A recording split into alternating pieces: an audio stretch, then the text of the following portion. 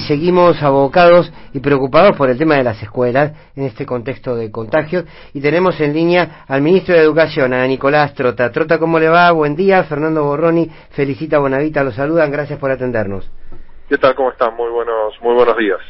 Bueno, ¿cuál es su, evaluación ante esta discusión social que se abrió a partir de si las escuelas deben continuar con clases presenciales o no en el marco de contagios que se van multiplicando, no? Bueno, en primera instancia, dejar claro la diversidad de realidades que transita la Argentina. El debate no es en la Argentina, sino es en particular en la región metropolitana, Ciudad y Gran Buenos Aires. Y eso es un punto que tenemos que, que destacar.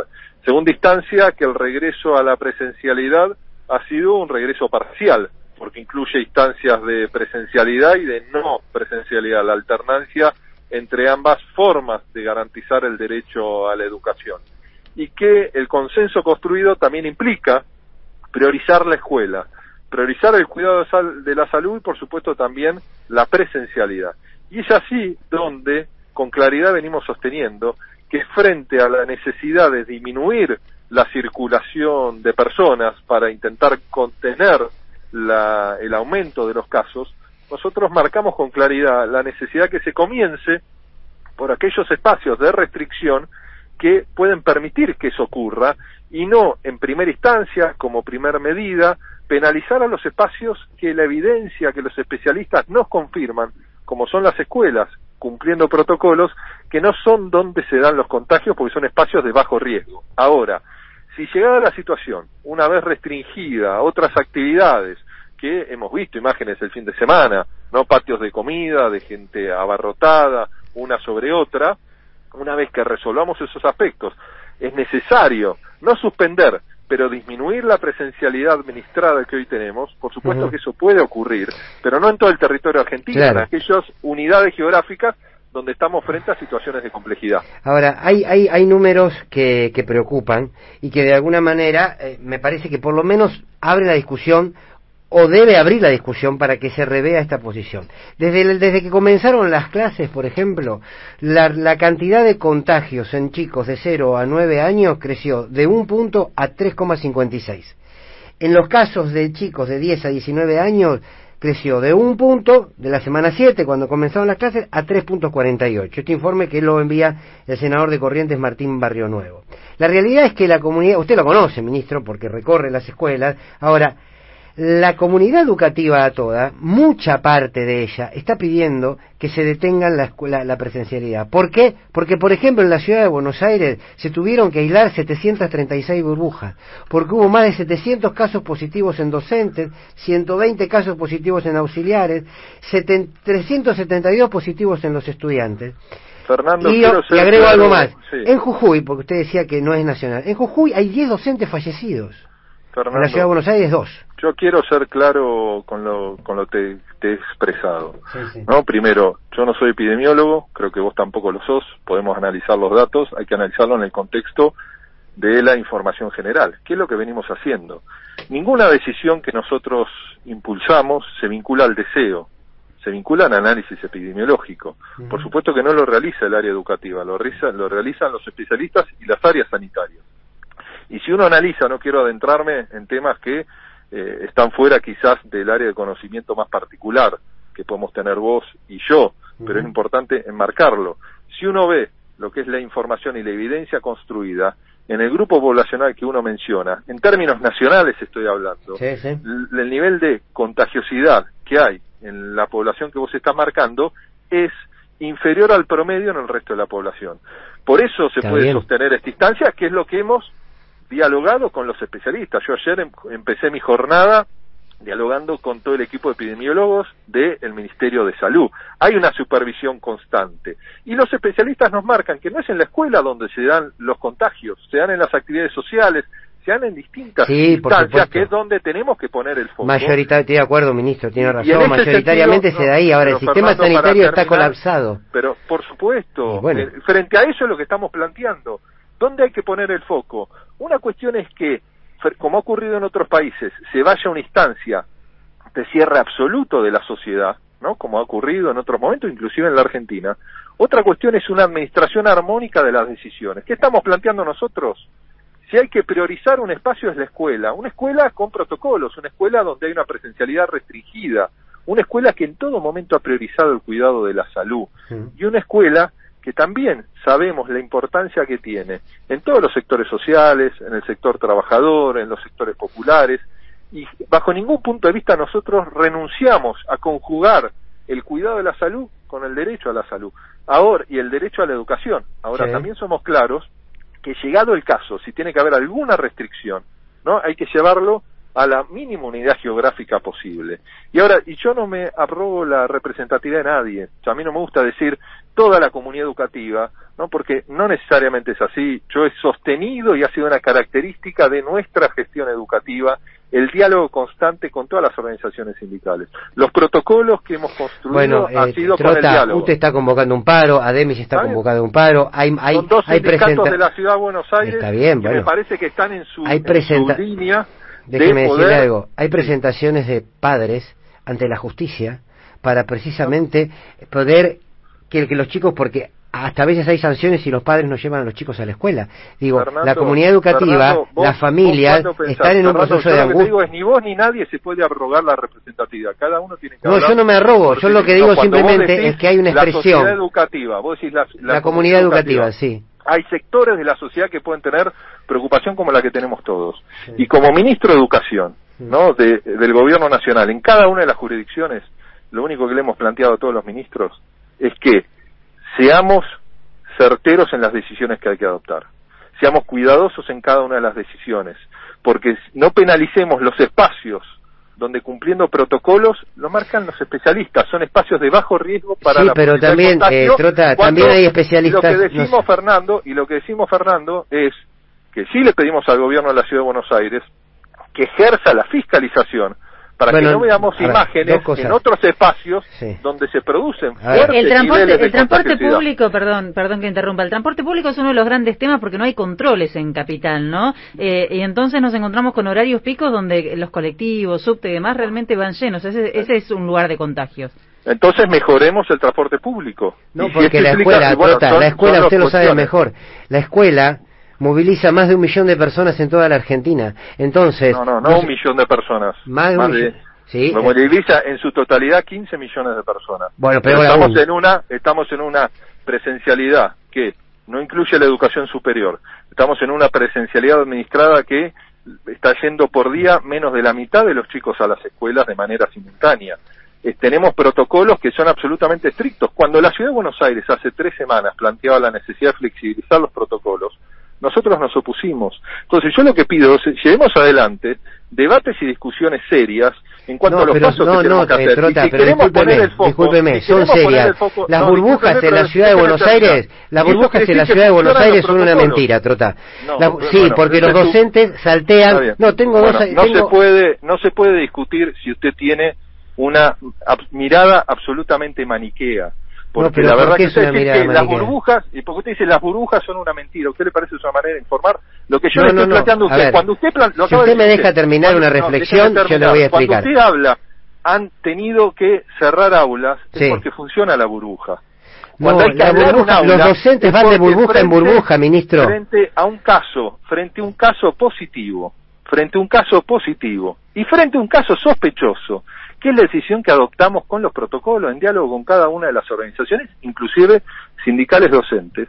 Frente a un caso sospechoso hay que aislar el aula y eso quiere decir que funciona. Ahora, si un docente está en dos burbujas, que es parte de lo que nosotros le hemos planteado porque tiene vínculo con dos aulas, por eso había que restringir principalmente en la escuela secundaria, la cantidad de vínculos que tenía una escuela, en una escuela un docente con las aulas, hay que aislar todas las aulas. Entonces, si hay en alguna jurisdicción o en alguna escuela donde no se cumplen los protocolos, lo que hay que sancionar es a la institución educativa. Y yo les pido a los docentes y a las propias organizaciones, si tienen que hacer alguna presentación formal, la hagan en una instancia donde yo dialogo de manera constante con las Yo no organizaciones dudo, a ver, ministro, déjeme, déjeme desarrollar un concepto.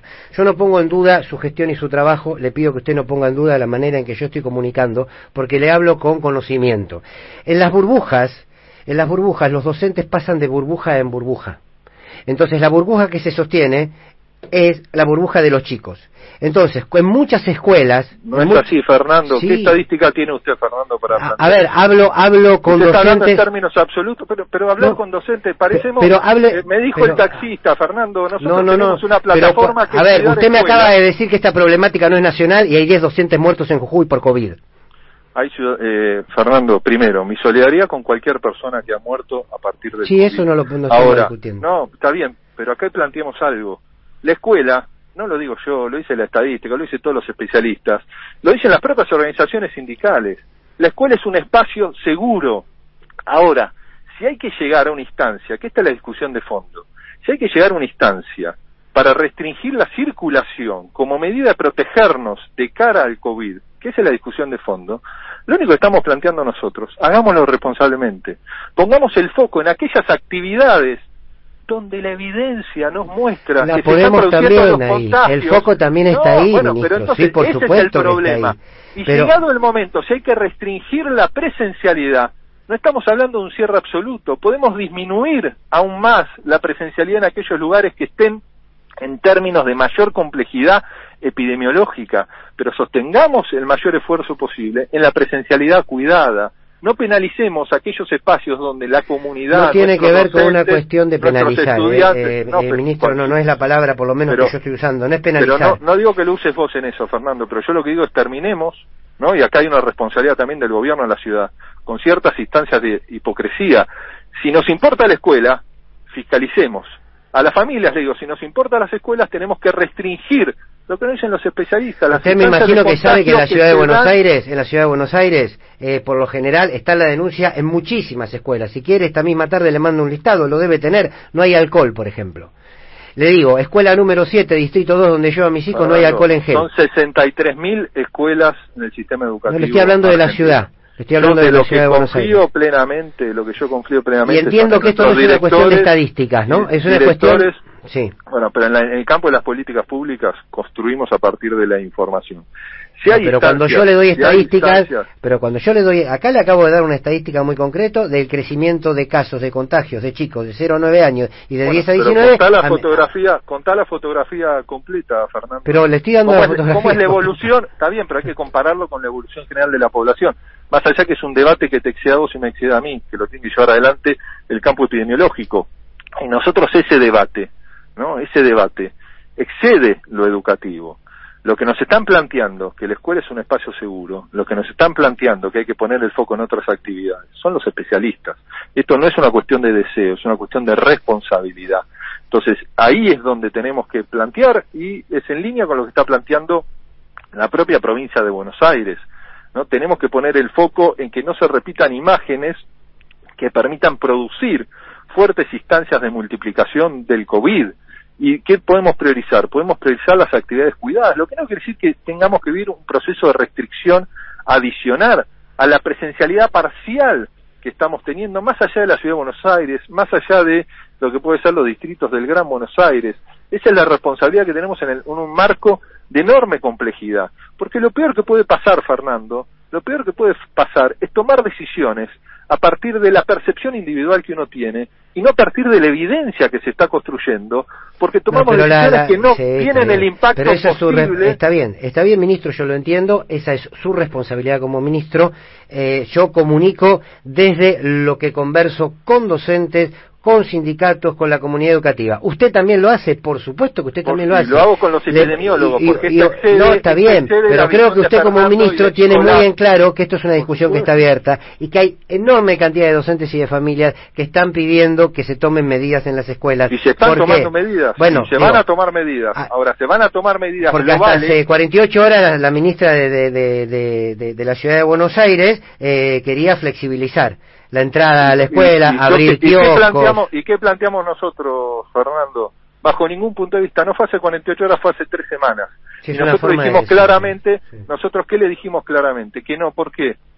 Porque es indefectible que íbamos a transitar momentos de complejidad, ¿no? Y por supuesto las decisiones que adoptamos hoy se vinculan al aprendizaje institucional de Argentina y del mundo. Ahora, el mundo está cerrando escuelas también, ¿eh? eh Grecia cierra escuelas, Alemania cierra escuelas, Francia cierra escuelas. y la han abierto también. No me compare, Fernando. Y, la han vuelto a cerrar en la segunda ola. Oh, no, pero no me compare, Fernando, porque ahí también yo creo que usted como comunicador tiene que comprender también los momentos distintos que atraviesa el hemisferio norte con el Pero, hemisferio eh, sur. Trota, nosotros le queremos preguntar, a ver, las clases de comunicación las aprendo en otro lado. Yo lo que No, está bien, es pero no confunda, que, por porque favor, cuando usted quiere comparar, pero Fernando, si usted a, quiere lo que hablar... tiene que ver con lo educativo, estamos- no a lo que yo hago dejo de hacer. No, pero usted está diciendo, cerraron escuelas, por supuesto, Argentina también. Argentina también. ¿Cuándo empezó? Ahora, Alemania, Alemania que usted está mencionando, Francia, los distintos países europeos, hoy, hoy están en un momento distinto al que estamos nosotros. Si queremos comparar linealmente, más allá que es muy difícil, nosotros en abril, el hemisferio sur, estamos en una situación similar en la que estaba septiembre, octubre, el hemisferio norte. Entonces eso es lo que yo le digo, seamos responsables en las comparaciones. Como también era absolutamente irracional comparar la Argentina de agosto del año pasado con el agosto del hemisferio norte. Entonces ahí tenemos que tener la claridad en la construcción de la evidencia necesaria Pero no- para lograr conjugar Eh, el cuidado de la salud, que es el compromiso sí. de nuestro gobierno, Sí. y cada una de las discusiones que tenemos Sí. llevar adelante. Y quizás también poder, que da para una discusión, tengo el informativo encima, para una discusión eh, mayor porque, porque creo que es un momento donde al menos deberíamos ampliar la, eh, la lógica eh, educativa, si en un contexto de pandemia, si en un contexto tan doloroso, los chicos son una vasija a las que hay que sumarle contenido porque sí, no pensar en una política educativa que realmente contenga a los chicos en esta instancia. Pero es parte del desafío, Es Fernando. parte del desafío, Es parte del desafío, del impacto subjetivo que ha tenido la pandemia. Y acá lo que digo, no hay absolutos. Esto es un día a día, por supuesto. Ahora, quiero ser claro. Hay gente que quiere cerrar. Yo se lo he hablado ayer con dirigentes sindicales.